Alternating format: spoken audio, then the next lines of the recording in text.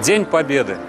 И в лучах салюта, будто гром, запомните навек, что в сражениях каждую минуту, да, буквально каждую минуту погибало 10 человек.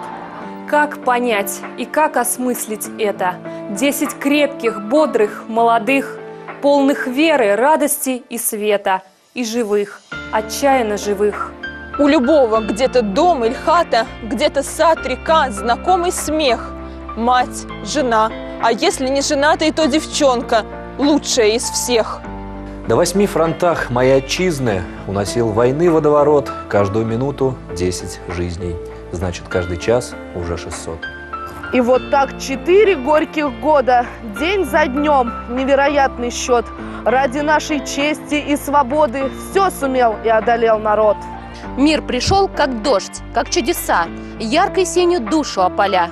Вешний вечер, в птичьи голоса, облаков вздымая паруса, как корабль плывет моя земля. И сейчас мне обратиться хочется к каждому, кто молод и горяч, кто б ты ни был, летчик или врач, педагог, студент или сверловщица.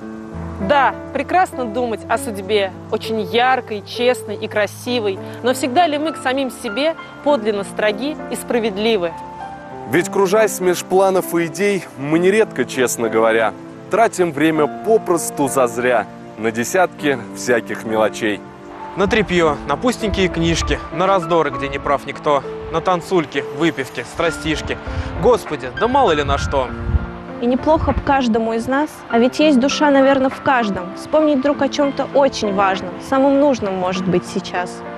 И сметя все мелкое пустое, скинув скуку, черствость или лень, вспомнить вдруг о том, какой ценою куплен был наш каждый мирный день. И судьбу замешивая круто, чтобы любить, сражаться и мечтать. Чем была оплачена минута? Каждая, при каждая минута. Смеем ли мы это забывать?